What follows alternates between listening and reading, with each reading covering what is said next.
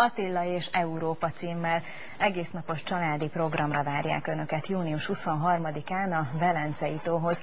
Előadásokat hallgathatnak majd Attiláról és a hunokról, valamint honfoglaláskori leletek másolatainak kiállítása is nyílik. 1560 éve kegyelmezett meg Attila Rómának, miután megkegyelmezett Modernának is.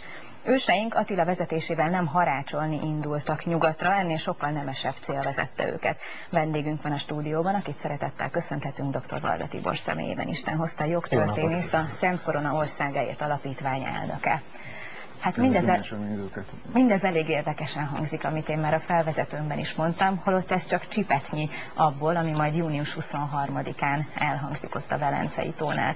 1560 éve. És mit jelent az, hogy megkegyelmezett Rómának Attila? Hát ezt kevesen tudják egyébként a mai világban, hogy Európának a, a képe az tulajdonképpen Attilától ö, ö, létezik, nem pedig, Nagy, ö, nem pedig Nagy Károlytól. Ugye most ez nyilvánvalóan azzal is összefügg, hogy a világ vagy Európa súlypontja hol található, ugye nyugaton próbálják azt állítani, hogy nyugatról ered.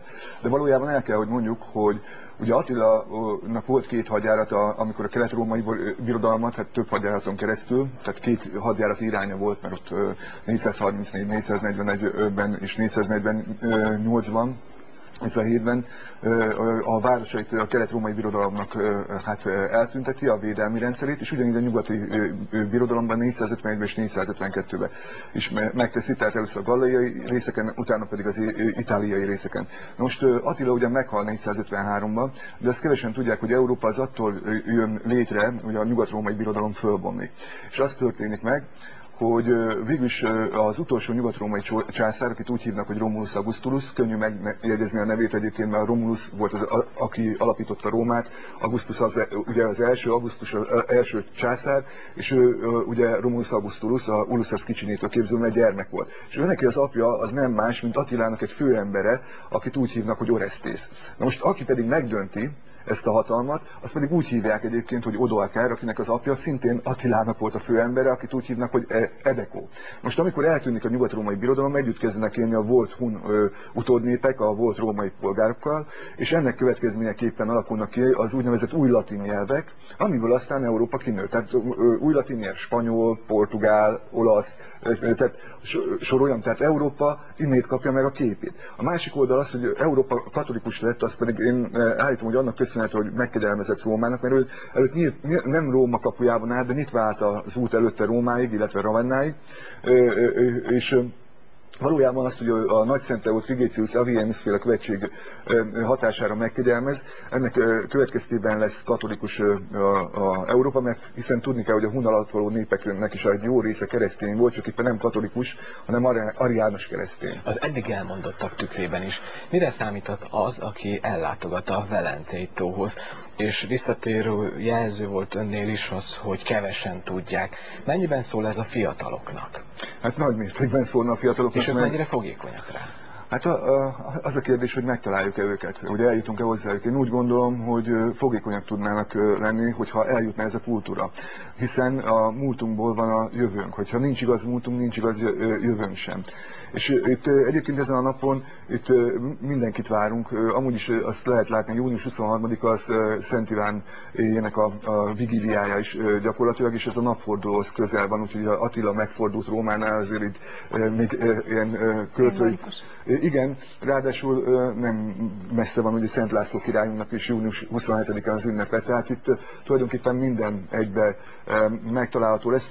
előadásokban most lesz az ázsiai unokról szó, lesz a, a Attila sírjáról, mert ugye a magyar népnek a lelkületében az, az, hogy Attila itt járt, az nagyon nagy mértékben benne van, hiszen mindenhol tudnak a sírjáról, mindenhol tudnak az ő, ő, ő, szálláshelyéről, tehát Attila áthatja ezt a területet, és ez az örökség ugye nyugaton van, ahol nem kedvező, a nyugati, akik ellenségei voltak Attilának, és van, ahol ő ugye a Nibelungénekekben a leg, legtisztább király. Na most nekünk, mi, miután ezen a területen élünk, kutya kötelességünk lenne egyébként ápolni, és Európa figyelmét, aki ugye oktat ki bennünket nagyon sok alkalommal, felhívni, hogy Európa gyökerei az a furcsa, hogy innét erednek. Egyébként is Európa szívébe vagyunk. Nekünk miként kellene Attilára tekintenünk? Hát uh, mindenféleképpen, először is uh, mint, egy, mint egy ősünkre egyébként, most ezt uh, attól függetlenül, hogy vannak, akik nem fogadják el azt, hogy hunnik viát avaris, tehát hun, az az avarok, vagy avaris kvédik ungari, vagy avarok, akiket uh, magyaroknak mondunk, de nekünk a kultúránk az, az íjfeszítő népekből ered, tehát ez az egyik. Mondok én egy példát, Attiláról még nem régiben is gyűjtöttek fel mondát. Gál Péter József gyűjtött fel egy mondát 1990-es években. Az arról szól, hogy a bácsi azt mondja el, 1916-os születésű volt. Azt mondja el, hogy azt mondja, hogy ha Attilát megölni nem tudták volna, akkor Magyarországot feldarabolni nem tudták volna. És akkor elmond egy olyan történetet, hogy Attila egy olyan szobába ahol egybejárat volt csak, és hogy katonák őrizték, és ő azt mondja, hogy altató cigarettát kaptak, és ettől úgy elaludtak, hogy nem vették észre, amikor bementek Attilához. Attila is a mély álomban volt, és akkor őt megölték, és ennek következménye az, hogy, föl, hogy Trianon megtörtént. Ez egyébként egy képes beszéd. Ez arról szól, hogy ha a szívünkben lenne Attila, akkor nem történhetett volna meg Trianon. Az előadókat, illetve a programokat még nevesítsük. Ha, akkor puskázok, mert nehogy, nehogy, nehogy véletlenül valaki kimaradjon. Hát dr. Bakai Kornél fog az ázsiai hunokról beszélni. Barás Csaba, a, a Attila, ő a szakrális földrajzzal foglalkozik. Attila sírjáról van egy olyan hely egyébként, mert Jordanes azt mondja el, hogy, hogy halmos temetkezés volt, és van a Kárpát-medencében olyan hely, illetve kis Magyarországon is olyan hely, amire azt feltételezik, hogy Attilának lehetett a sírja, ugye? Aztán ez Ószajla egyébként. Aztán Gál Péter József a Kárpát-medencé Attila mondákról fog előadást tartani, dr. Hidán Csaba a hunok fegyverhasználatáról fog előadást tartani, aztán Zsónai Gábor, ő az, aki egyébként Kazaksztánban egy lóhátra elment, illetve visszajött onnét, ő pedig járt lóval itáliai területeken is, és a ott lévő egyes városokhoz fűződő Attila mondákról, például Udinének mondáiról fog beszélni, és legvégül én fogok előadást tartani Attila és Európa címmel. Attila és Európa címmel. A Szent Korona Szabad Egyetem nyílt napja és programjain kívül még gyerekeknek hagyományőrző foglalkozások. Itt kipróbálhatják a karikás ostor és a fokos használatát. Bográcsban főtételeket kóstolhatnak majd. Este Szent Iván éjszakai tűzgyújtás és tűzugrás, zenélés, éneklés, baranta bemutató is lesz, szóval minden, ami ehhez a szép program. Nagyon fontos, hogy június 23-a 10 órakor kezdődik a Köszönjük szépen! Sok sikert, sok látogatót kívánok! A Vágtázó Csoda Szarvas muzsikát. Európa címmel egész napos családi programra várják Önöket június 23-án a Velencei tóhoz. Előadásokat hallgathatnak majd Attiláról és a hunokról, valamint honfoglaláskori leletek másolatainak kiállítása is nyílik. 1560 éve kegyelmezett meg Attila Rómának, miután megkegyelmezett Modernának is. Őseink Attila vezetésével nem harácsolni indultak nyugatra, ennél sokkal nemesebb cél vezette őket. Vendégünk van a stúdióban, akit szeretettel köszönhetünk dr. Varga Tibor személyében. Isten hozta jogtörténész, a Szent Korona Országáért Alapítvány elnöke. Hát mindez, el, mindez elég érdekesen hangzik, amit én már a felvezetőmben is mondtam, holott ez csak csipetnyi abból, ami majd június 23-án elhangzik ott a Velencei tónál. 1560 éve. És mit jelent az, hogy megkegyelmezett Rómának Attila? Hát ezt kevesen tudják egyébként a mai világban, hogy Európának a, a képe az tulajdonképpen Attilától ö, ö, létezik, nem pedig, Nagy, ö, nem pedig Nagy Károlytól. Ugye most ez nyilvánvalóan azzal is összefügg, hogy a világ vagy Európa súlypontja hol található, ugye nyugaton próbálják azt állítani, hogy nyugatról ered. De valójában el kell, hogy mondjuk, hogy ugye Attila-nak volt két hadjárata, amikor a kelet-római birodalmat, hát több hadjáraton keresztül, tehát két hadjárat iránya volt, mert ott 434, 441-ben és 448-ban 57-ben a kultúra. Hiszen a múltunkból van a jövőnk. Hogyha nincs igaz múltunk, nincs igaz jövőnk sem.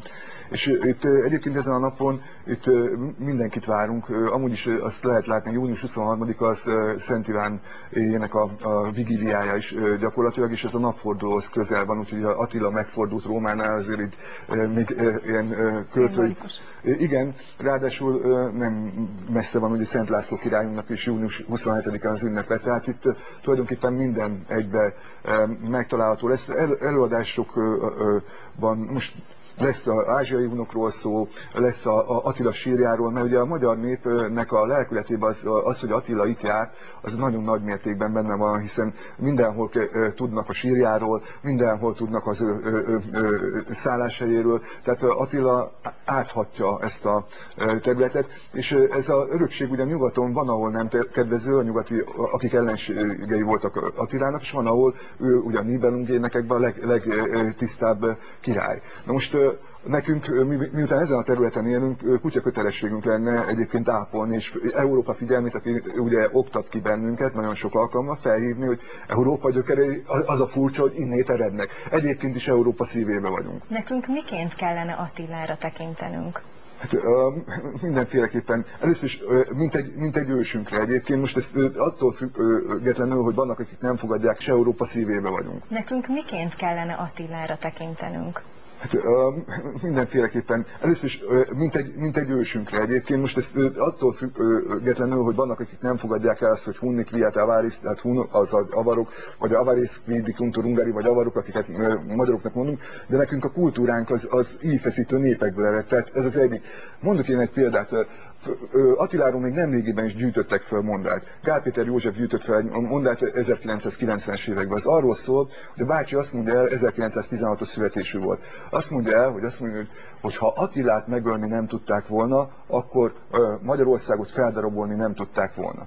És akkor elmond egy olyan történetet, hogy Attila egy olyan szobába aludt, ahol egybejárat volt csak, és hogy katonák őrizték, és ő azt mondja, hogy altató cigarettát kaptak, és ettől úgy elaludtak, hogy nem vették észre, amikor bementek Attilához. Attila is a mély álomban volt, és akkor őt megölték, és ennek következménye az, hogy, föl, hogy Trianon megtörtént. Ez egyébként egy képes beszéd. Ez arról szól, hogy ha a szívünkben lenne Attila, akkor nem történhetett volna meg Trianon.